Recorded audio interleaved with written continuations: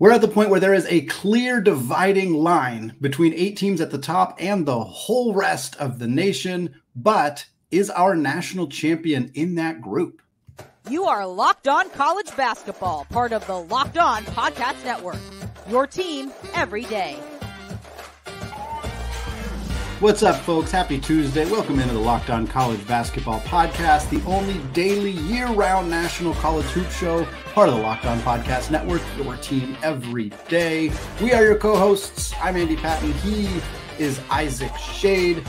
Today's episode of Locked On College Basketball is brought to you by LinkedIn Jobs. These days, every new potential hire can feel like a high stakes wager for your small business. That's why LinkedIn Jobs helps find the right people for your team faster, and they do it for free. So post your job for free at linkedin.com slash locked on college. Terms and conditions apply. All right, folks, not a huge slate of games on Monday evening. Really, not a lot of great college basketball matchups again until we get that Gonzaga UConn game on Friday, and then a ton of fantastic hoops coming our way on Saturday. Uh, currently, we have seven undefeated teams remaining in college basketball. Last week took out a big bunch of them. All seven of those teams are not playing another game until Saturday. I'm thinking it's finals week in colleges right now, as we have a lot of teams avoiding any big matchups for the time being. Uh, we also have been following this story at Michigan with Juwan Howard and a staffer, uh, and potentially some kind of altercation there. As we're recording this right now, there are not a ton of details. Uh, perhaps details will come out between now and when this is published, but I promise that as soon as we get more information about what's going on there, we will address it here on the show. Obviously, potentially uh, a very significant thing that, that could happen for Michigan's coaching staff for this program uh, in general, and we'll keep you updated as much as we can. Isaac, before we get into our top 25s, before we get into what this field looks like as we get closer and closer to March, I got a trivia question for you because it is Trivia Tuesday after all. I'm going to hit you with this trivia question, folks yeah. listening. Try to think of that answer. We'll get to it at the end of the show. Isaac, Alabama currently has the number one ranked offense in KenPom, but they are 84th on defense. Last year's number one ranked offense was 73rd at KenPom in defense. So it's not like this is completely unprecedented. The yep. trivia question for you, and again, we'll answer this at the end of the show. Who was that team last year? Number one offense, 73rd ranked defense. We'll get to all that. But right now, let's talk about our rankings. Again, for those of you who don't know, Locked On College Basketball, we do our own rankings. Myself, of course, Isaac, and then Leaf Tulane, our regular guest on Wednesday shows. We all do our own rankings. We compare them to the AP poll, kind of talk about where we're at. And Isaac this year, this week, there was a pretty clear top seven, top eight. And then after that, it was pretty difficult. We had some undefeated teams we had to find some spots for. We had a lot of teams in that like 8 to 15 range who lost, had to figure out how far down are we dropping some of those teams. So we'll start you out with the top eight and we'll talk about uh, how we feel about those teams. First off, we have Arizona, then Purdue and Houston, followed by UConn and Kansas. Kansas is the team we're the farthest apart on in this top eight. We have them fifth. The AP voters have them second. And then we have Marquette at six, Baylor at seven, Creighton and eight. Isaac, first question. Out of this eight teams, do you think we're looking at the national champion? Absolutely. You know, I mean, it's like, you know, you, you get to the old uh, the the cliche like mm-hmm. hey would you take this eight versus the field mm-hmm. and obviously from a betting standpoint absolutely not that would be stupid yeah. Uh, but man when i look at this group of eight teams that we have in our top eight it's like it would hard it would be like i could look at everything be, beneath that and i could easily pick out a team that i would give you for that and in fact I, we'll probably do that in the next segment andy but mm-hmm. when i when i look at this man it is there's no team that right now has separated itself as the team, although Arizona is well on its yeah. way to doing that. We're, we're going to keep, you know, we we talked last Friday about this gauntlet they have ahead of them. Let me quickly remind everyone of that. Obviously, they took care of Wisconsin in easy fashion, but then they got Purdue on Saturday, uh, Alabama the next Wednesday, and then FAU after that. So, you know, we're, we're going to continue to learn just how elite Arizona is. And I'm very grateful for that, even before Pac 12 play. Mm-hmm. Um, but Andy, I mean, you look at these and the way UConn's playing right now. Yeah. ridiculous. Uh, Purdue's looking really good. I, I, know they got a test from Alabama over the weekend, but man, they, they held their own. Um, Houston, they haven't had too much strength of schedule wise yet, Andy. Like mm-hmm. I, I, was actually yesterday looking at their record so far and, the, and their resume so far. They really haven't done too much. So I, am a little bit of a wait and see mode with Houston. Um, but yes, as I look at this, I feel really, and it was interesting. You and I were texting about this on Sunday as we were putting together our top 25s and basically saying, Andy, I feel great about this top seven, top mm-hmm. eight. Um, none of them lost last week. That helped make it a little bit easy. Yeah. I shift. I personally shifted Kansas down a little bit because I just wanted to bump up UConn and Purdue and Houston, mm-hmm. uh, which is no fault of Kansas, but um, like it, as you said, it just got murky after that. But feel really good about this delineation. So if you were to ask me, just as a, as a basketball watcher, not as a better, mm-hmm. one hundred percent, I would say the national champion is in this group. And obviously, right now, we'd have to say Arizona is is the one that you look at with mm-hmm. the most favor. You know, it's funny, as much as there feels like there's been a ton of parity in college basketball this year, and there has, and, and certainly uh, teams 9 through 25 on our list, which we will talk about momentarily, uh, certainly looks a lot different than, than the preseason. But these eight teams right here, I mean, what was the lowest? I don't know off the top of my head, but the lowest any of these teams were ranked preseason couldn't have been lower than like 15. I think it might have been Arizona, to be honest. Yeah. In the AP poll specifically? Yeah. I'll like, look while you're talking. Keep going. Yeah, I think Arizona was like ninth, maybe in the AP poll, but like I know Marquette and Creighton and UConn were all in the top 10. I know Houston was. I know Purdue was. Like obviously Duke and Michigan State were top 10, top five teams that have fallen out in a significant way. Uh, but really, for the most part, like this is more or less the group of teams we kind of expected to be having this conversation about. Uh, it changes more as we get into the Clemsons and the Oklahomas and the BYUs and the Colorado States and other teams, James Madison, uh, for that matter, who've kind of climbed into that conversation. But top eight teams, potential ones and two seeds right now. I, I, I mean, if this if these were the ones in the two seeds, these eight teams. I wouldn't bat an eye at it. I wouldn't think anything unusual about these being the eight teams. It feels like this is a really strong group of programs three in the Big 12, three in the Big East. You got one in the Pac 12 in Arizona, of course, one in the Big 10 as well in Purdue. This is a, a, really quality group of programs, and I would not be surprised at all if they're contending for for Elite Eights and Final Fours. If every one of these teams is in that conversation. And and what you said there about three of them being in Big 12, three in the Big East, that yeah. I mean, we kind of honestly expected that out of those yeah. conferences, but still the fact that it's playing out to be true is pretty incredible. Um, mm-hmm. Andy, and and we've got. Uh, I mean, it's true in the AP poll. These are your top eight teams at FanDuel. These are currently the top eight teams in terms of the national championship odds. Mm-hmm. KenPom, it's really close, Andy. Without mm-hmm. looking, uh, I know we're not. I'm doing the trivia answering today, but one of these eight teams is not the top eight at KenPom right now. Any guesses which one it is, or maybe you've got it in your head already? I I do know who it is, to be perfectly honest with you, but I will tell you that I would have guessed Creighton because I know that Creighton got bumped pretty good when they lost uh, to Colorado State earlier this year, but I know for a fact that's not the answer. Yes. Yeah, it's Kansas, as you mm-hmm. have in your head, who is 10th. We've got right now BYU 8 and Tennessee 9. So uh, that's kind of where it's at. So every, you know, we're seeing it with our eyeballs. I think our eyeball test tells us these are the top eight right now. And I mm-hmm. know there might be some, but what about Creighton's really bad loss to Colorado State? And mm-hmm. Colorado State just lost at home to St. Mary's, who's not playing. I okay, fine, whatever.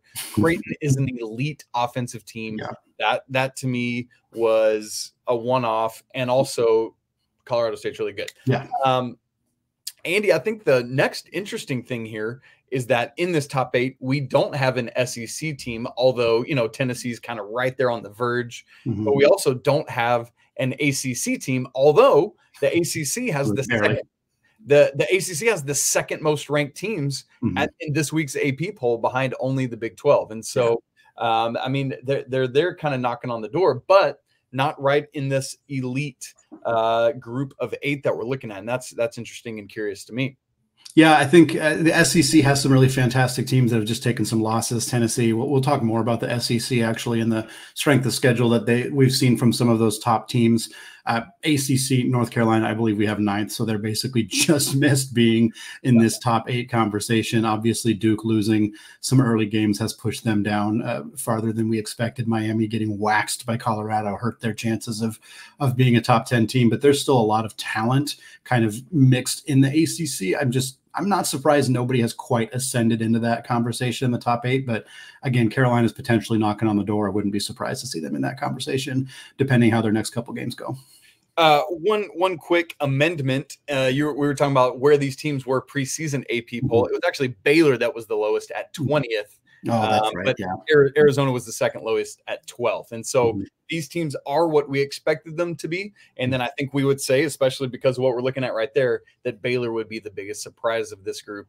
But a Scott Drew coach team is never all that much of mm-hmm. surprise. Andy, we want to keep moving into those teams that are right behind this group, looking at 9 through 25 and what other programs, in, including a pair of undefeated teams who skyrocketed up this week, could any of them crash this top eight party? Could any of them make a final four? Oh, you believe they can. We're going to talk about who it is in just a second.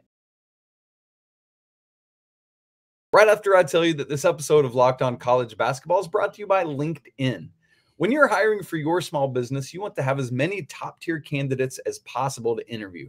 That's why you have to check out LinkedIn Jobs, which has the tools to help find the right professionals for your team faster and for free. It's critically important for the success of your business to have a pool of quality candidates to interview. And thankfully, LinkedIn Jobs makes it super easy to find those. It's not just some other job board, they have a vast network of more than a billion professionals, making it the best place to hire, which is super easy when you got that many quality candidates. LinkedIn knows that small businesses are wearing so many hats and might not have the time or resources to hire effectively and efficiently.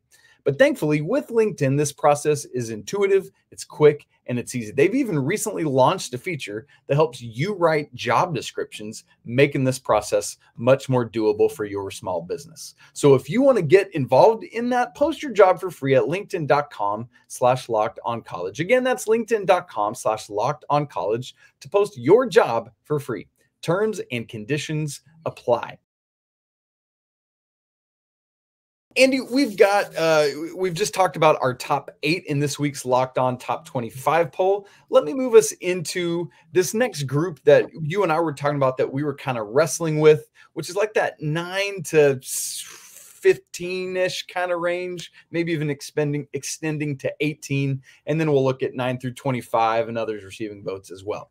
Number nine, North Carolina, interestingly unmoved from last week. Uh, 10 Clemson shot all the way up in ours. Uh, Tennessee is 11th, Gonzaga 12th, Oklahoma 13, Illinois 14, FAU 15. And then we keep on going from there. I want to pause there, Andy, because this is really where that group was that was interesting to me because we had North Carolina losing to UConn last mm-hmm. week. Clemson and Oklahoma are those two undefeated teams. So it was like, where are they going to come?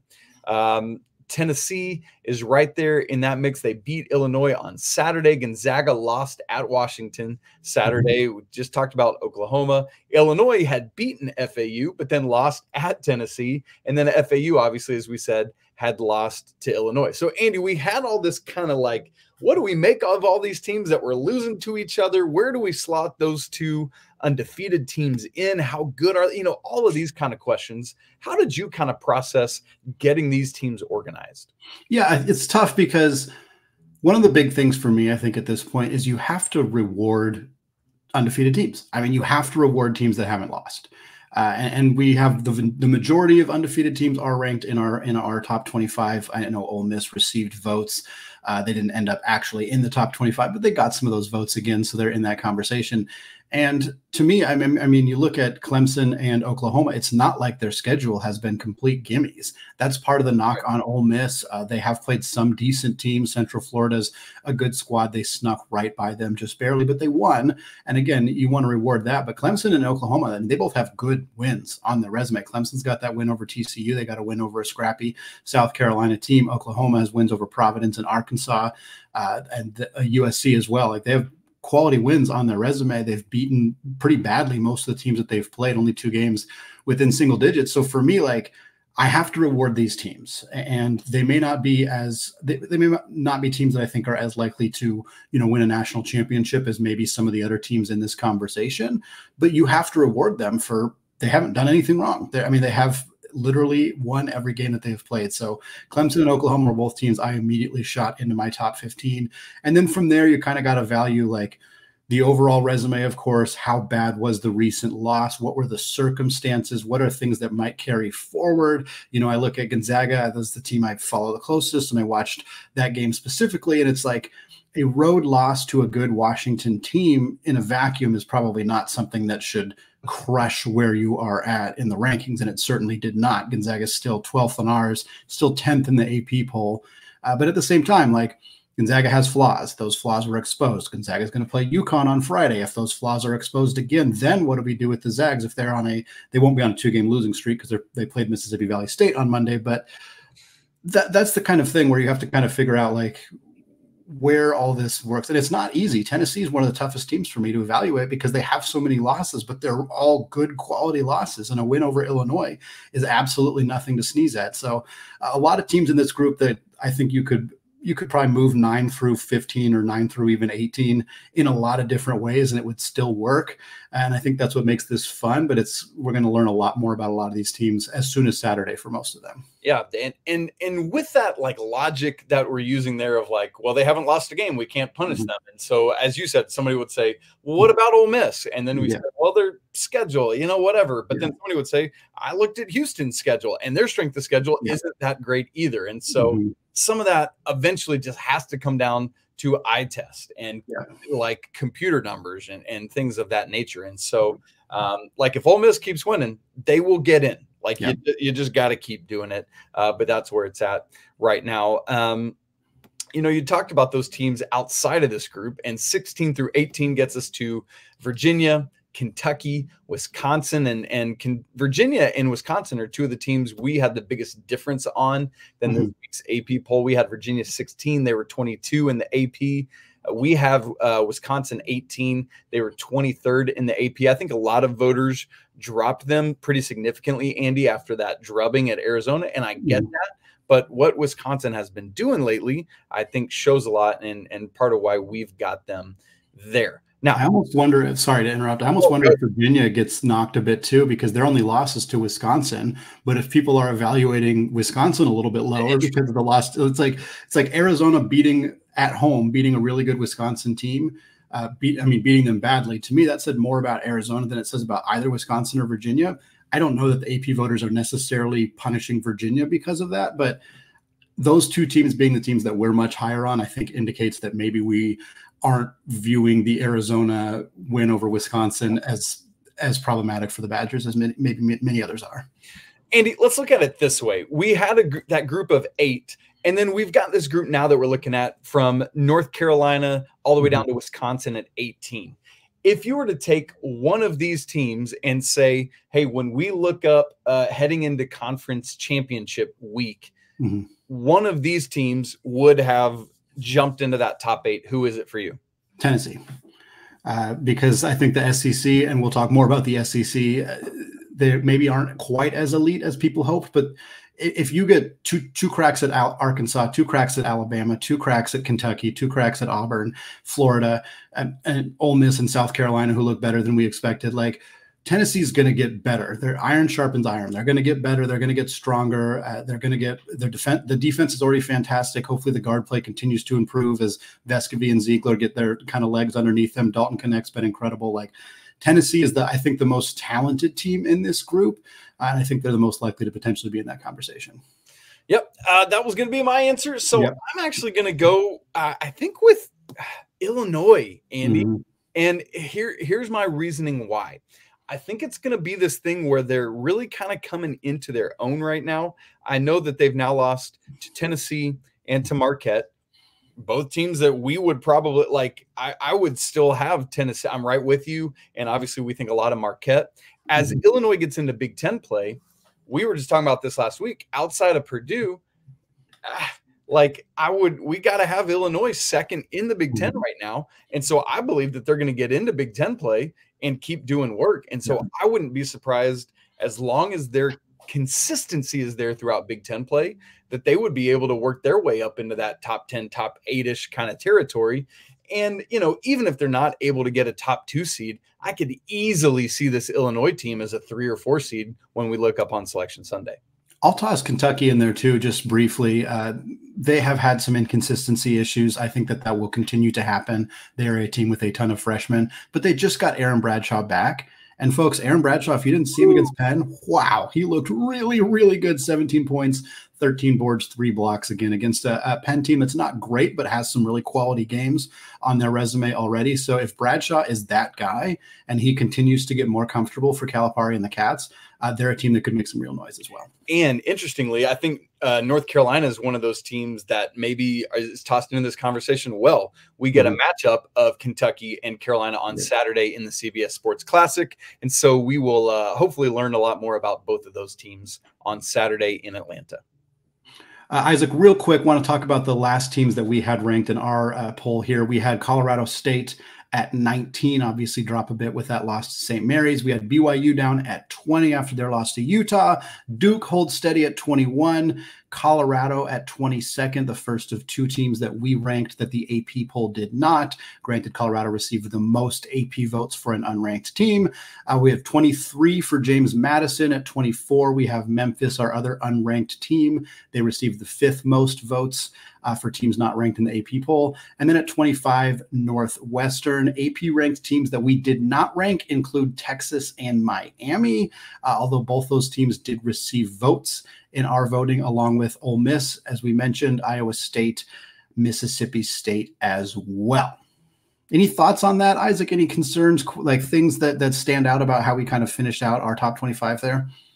I don't. You know, I, I've for me, there's like those what seven teams those that are in the others receiving votes and even a couple others that are all kind of swirling around for me in this like range where they're probably going to flit in and out of the top 25 and be mm-hmm. in the mid to late 25s to 30s week to week. And so I think when Colorado State gets back healthy, hopefully that mm-hmm. they will, uh, we'll see them do work. Colorado, I wouldn't be surprised as we move into conference play to see them hang around just because, as we, again, as we were talking about, we see them uh, at right now probably number two in the Pac 12 behind Arizona. Mm-hmm. And uh, so that, you know, that could have some staying power for them as well. And, you know, probably with James Madison too, since they have solidified themselves here, as long as they keep winning, we expect them to in conference play as well. Mm-hmm. And so, Andy, that, that, since they found their way here, I would imagine until they lose, they're going to stay. Yeah, I think spots about 20 through 35 could be organized a whole bunch of different ways, but um, people don't like to read top 35s, I guess. So we're doing top 25. Uh, Got to have a cutoff there somewhere.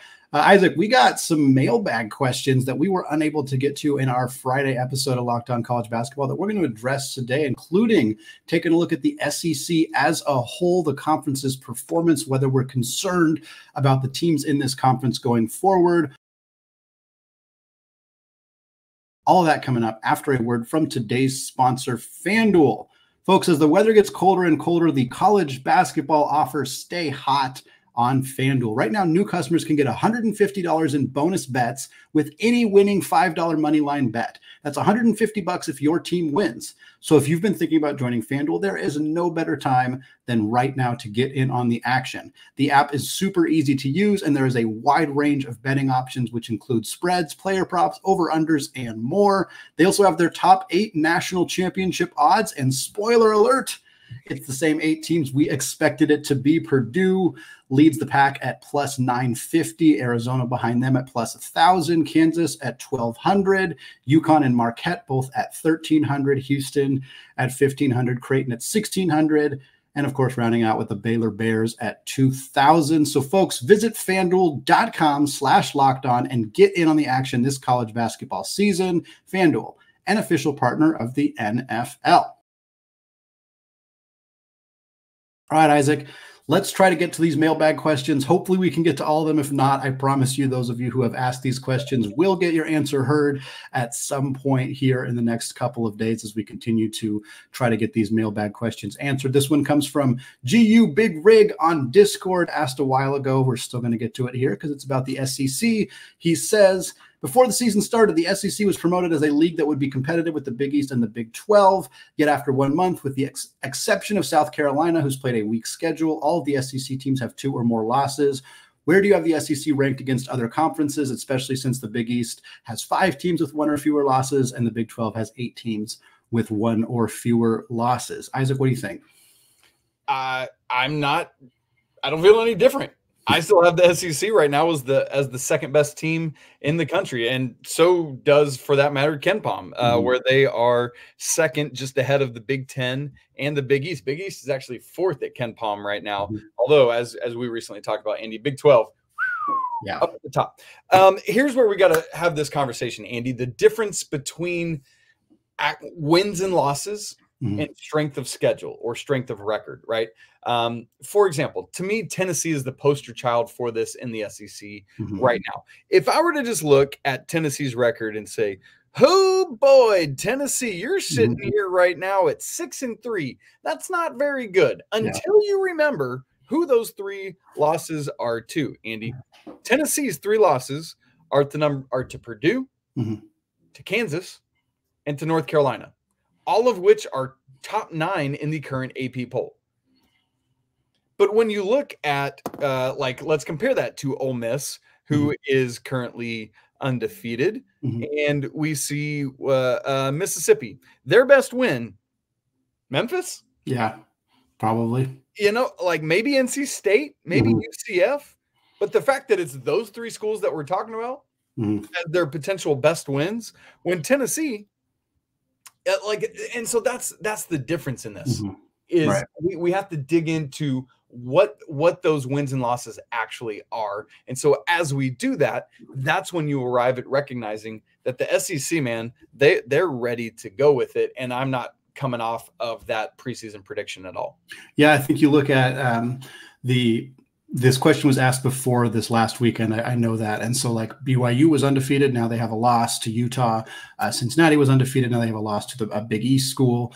Uh, and Xavier, uh, TCU was undefeated. They have a loss to Clemson. Like, you're starting to see as we get closer and closer to conference play, these teams, you know, schedules start to even out a little bit.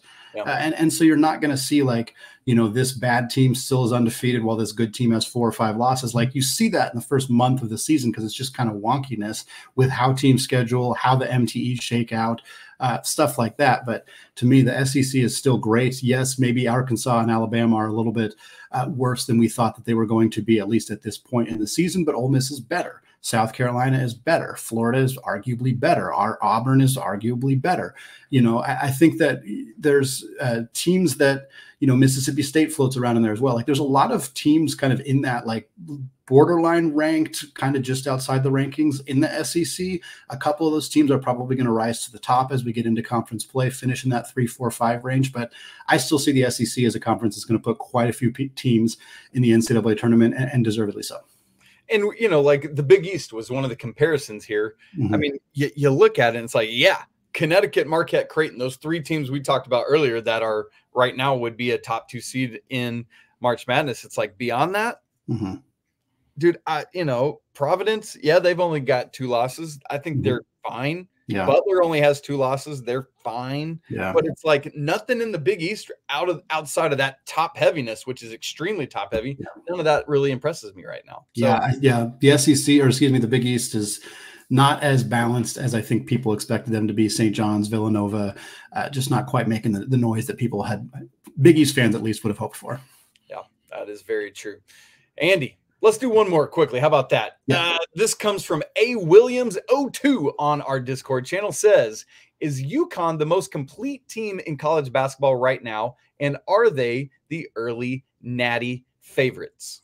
Quick answer this because we got to get to our true Tuesday trivia answer as well. Mm, yeah, uh, yeah, they're in that conversation. We talked about those top eight teams. Obviously, UConn being clearly among those top eight teams. I still think Arizona is a bit more uh, complete, uh, more balanced, good depth uh, on the bench, coming off the bench as well. UConn injuries are a little bit of a concern to me. We got to make sure Clingan's going to be okay with the toe stuff. Karaban's, I think, got some finger stuff. But if, if those guys are okay, if Stephon Castle can kind of reacclimate and find his spot, like this team is really, really good. They're one of the three, five best teams in the country in terms of overall balance. They're absolutely a national championship contender. I'm still going to lean Arizona, but they're right in that conversation. Yep, I, will go with you. I, Arizona is the team right now, but I I would have no problem saying that UConn would be number two for me at this yep. point.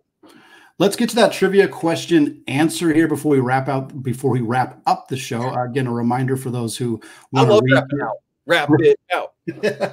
who want to rehear that question here? Uh, the, the, trivia question: Alabama currently has the number one ranked offense per KenPom, but is 84th in defense. Last year's number one ranked offense finished 73rd at KenPom in defense.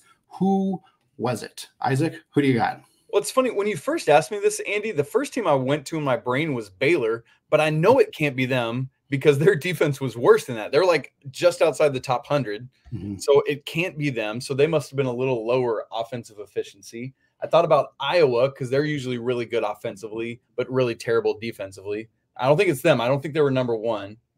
I feel like it was Gonzaga. That is correct. Let's go. The answer was Gonzaga. Yes, Drew Timme led teams tended to uh, be very high offensively, uh, not so high defensively. Interestingly, Baylor was second in offensive efficiency, but 107th at defense there. So really good thought, really good answer to that question there. Nice job. Gonzaga, of course, makes it to the Elite Eight thanks to Julian Strawther last year. First offensive ranked team, 73rd in defense. They're certainly looking like a better defensive team this year. Hopefully, uh, that will bear out for them. You need more balance. Yes, Alabama is so back and forth year after year on mm-hmm. this. Nate Oats needs to get it consistent. Andy, that's it for today's show. Great time talking about our top 25. Folks, we'd love to hear your top 25 or where you think we're wrong and why mm-hmm. you think we're wrong. Let's get into it. That's the fun stuff. Uh, come follow us check things out on Discord. We'd love to chat with you there. The link is in the show notes as always. Don't forget to subscribe to us on audio and video. If you're watching, smash that like button so we know you are here. As always, apologies to the lawyer family. Let's go, all the multitudes of Wildcats. and until tomorrow, peace.